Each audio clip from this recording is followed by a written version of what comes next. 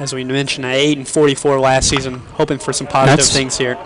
Over to the shortstop, Basin, and Hennick when they won the conference championship. That pitch is flying into right field.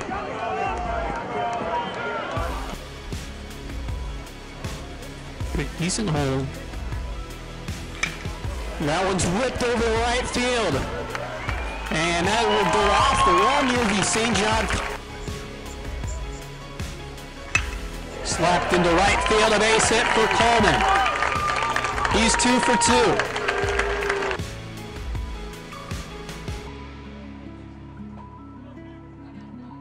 Pitch.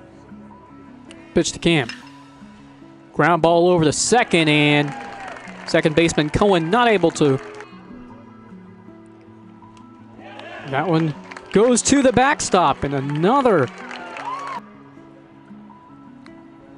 And that hit Alec Acosta. And the third run comes across the plate for the Wildcats.